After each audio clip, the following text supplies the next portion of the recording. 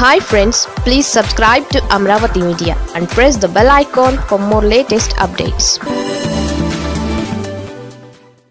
Andhrajyothi ఆర్కేలో ఇంత మార్పా? విశేషమే అంతటి రాధాకృష్ణ పవన్ కళ్యాణ్ సోదరుడు నాగబాబుకు వివరణ ఇచ్చుకోవడం. నన్ను అర్థం చేసుకోండి నా రాతల్ని అపార్థం చేసుకోకండి అంటూ హాఫ్ పేజీ పాటు పవన్ ఫ్యాన్స్ను వేడుకున్న తీరు ఎందుకో కానీ సరైందిగా అనిపించలేదు. నిజంగానే కేసీఆర్ ఓ రాజకీయ ఎత్తుగడగా పవన్ కళ్యాణ్కు వెయ్యి కోట్లు ఇవ్వజూపాడని తను గత వ్యాసంలో రాయడాన్ని కేసీఆర్ కోణంలోనే చదువుకోవాలి.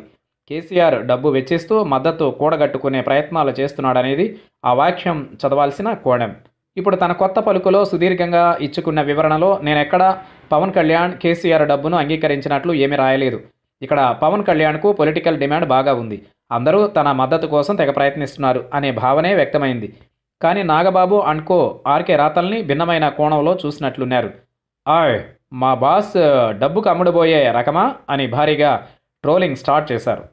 నిజానికి ఏ స్థాయి ట్రోలింగ్ అయినా రాధాకృష్ణ పెద్దగా పట్టించుకునే రకమేమీ కాదు. మరి నాగబాబుకు కూడా అంత లోతైన వివరణ ఎందుకు ఇచ్చుకునే ప్రయత్నం చేసినట్లు?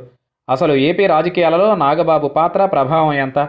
కానీ రాధాకృష్ణకు ఈ వెయ్యి కోట్ల వాక్యం తెలుగుదేశం వైపు నుంచి చిక్కులు తెచ్చిపెట్టినట్టుంది. ఇలాంటి రాతలు చంద్రబాబు పవన్ కళ్యాణ్ బంధానికి నష్టదాయకమని ఒకవైపు పవన్ చంద్రబాబు బంధాన్ని పలచన చేయడానికి వైసీపీ ప్రయత్నిస్తూ ఉంటే దానికే సహకరిస్తున్నట్లు ఈ రాతలేమిటి అనే ప్రశ్న ఘాటుగా ఎదురైనట్లుంది. అందుకేనేమో ఈ సుదీర్ఘ వివరణ. పట్టాభిని కొట్టారనే వార్తకు సంబంధించి ఓ తప్పుడు ఫోటో పెట్టి ఈనాడు రెండు మూడు వాక్యాల్లో సవరణ అచ్చేసి చేతులు దులుపుకుంది. మంచిదే కనీసం ఆ పాత్రికేయ ప్రమాణాన్ని పాటించింది. ఆంధ్రజ్యోతి చాలా వార్తలకు సంబంధించి అదేమి చేయదు.